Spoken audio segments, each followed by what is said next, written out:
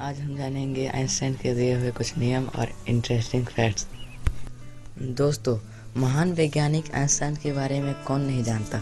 उन्होंने ही हमें सामान्य सापेक्षा के सिद्धांत जनरल रिलेटिविटी थ्योरी के बारे में बताया था। आइए इससे जुड़े कुछ इंटरेस्टिंग फैक्ट्स के बारे में जानते हैं। पहला, सापेक्षा के सिद्धांत की मदद से आइंस्टाइन ने यह अनुमान लगाया था कि ब्रह्मांड के बढ़ने या विस्तार करने का कोई निश्चित दर नहीं है। ब्रह्मांड की सभी चीज़ें एक दूसरे के सापेक्ष बढ़ रही है। मतलब कि एक दूसरे से सापेक्ष मात्र में दूर जा रही है। इसलिए इसे सामान्य सापेक्षा के सिद्धांत कहा जाता है। और दूसरा, समय हर किसी के लिए एक ही दर पर नहीं चलता, बीतता है। तेज़ी से चल रहा, तेज़ी से मूवमेंट कर रहा, एक पर्यवेक्षक किसी स्थिर पर्यवेक्षक के मुकाबले समय को थोड़ा धीरे से बीतता बीतता हुआ महसूस करेगा। इस घटना को समय का फैलाव टाइम डायलेशन कहा जाता है।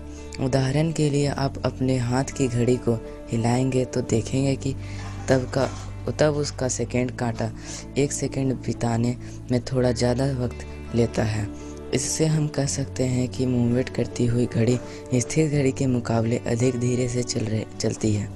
और तीसरा, एक तेज़ी से चल रही वस्तु, उसकी गति की दिशा में किसी धीरे से चल रही वस्तु के सापेक्ष में थोड़ी धीरे, थोड़ी छोटी दिखाई देती है।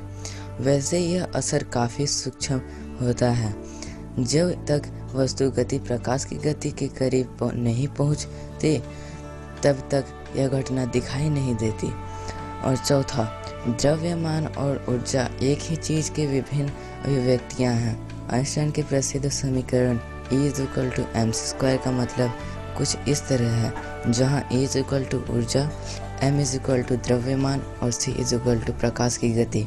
यह चीज़ ही एक परमाणु विस्फोट से निकलती हुई ऊर्जा की एक बड़ी राशि की रिहाई के लिए खुद को सक्षम बनाती है। और पांचवा is equal to M C square के एक परिणाम स्वरूप एक तेज़ी से चलती हुई चीज़ का वज़न धीमी गति से चलती हुई वस्तु के सापेक्ष में ज़्यादा मालूम पड़ता है। यह इसलिए क्योंकि वस्तु की गति बढ़ने के साथ ही उसकी गणित, गतिज ऊर्जा बढ़ जाती है और इसलिए उसका वज़न भी बढ़ जाता है।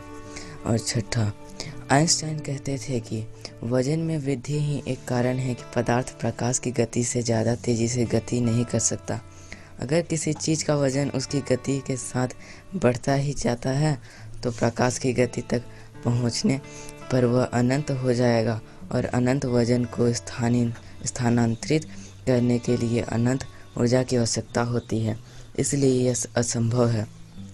और सातवा, अंतरिक्ष और समय एक सातत्य का हिस्सा है, जिसे स्पेस टाइम कहा जाता है। आइंस्टाइन के गणित के मुताबिक अंतरिक्ष के तीन आयाम हैं और चौथा आयाम समय है।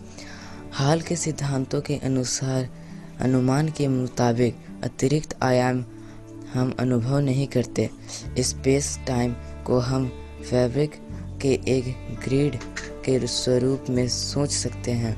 बड़े पैमाने पर मास की उपस्थिति स्पेस टाइम को विकृत करती है, इसलिए रबर सीट मॉडल एक लोकप्रिय है। अगर आपको ये वीडियो पसंद आया हो तो लाइक और सब्सक्राइब ज़रूर कीजिए, ताकि हम आपके लिए इसी प्रकार और नए वीडियो बना सकें। Thank you.